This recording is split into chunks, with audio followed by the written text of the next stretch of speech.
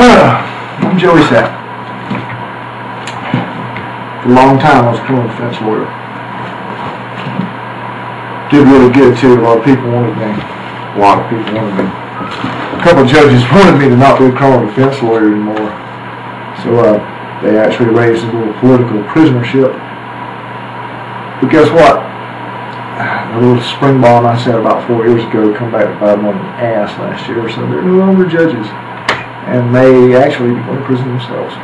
But anyway, that brings me to the topic I'm going to talk to you about right now.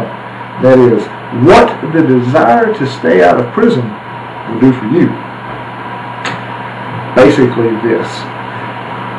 There is no magic antenna to the police station saying, crime, crime, crime, crime. Police have to be informed or they have to discover. Why are police informed? Well, disgruntled employees, disgruntled friends, I'll get you in revenge type stuff. Very, very brutal. And when done hot-headedly, lead to disaster.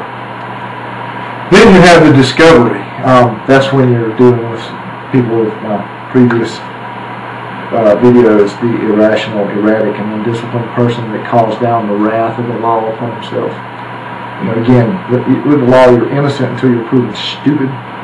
Okay, so what the desire to stay out of prison will do for you is you'll pay money to someone, you'll uh, rake yards, you'll settle civil cases, you'll uh, do whatever you have to do, short probably of killing someone.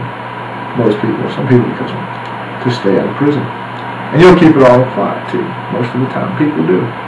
See, I tell them, you, I go to prison too, what I did is worse than you. And good Lord, if you've got a trial lawyer in between the request to settle for money as opposed to stand trial for, I don't know, forgery, or even arson, something like that.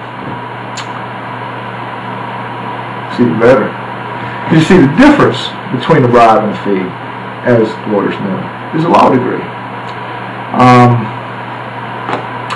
it's not a crime until it's reported, and it's usually not reported unless it's discovered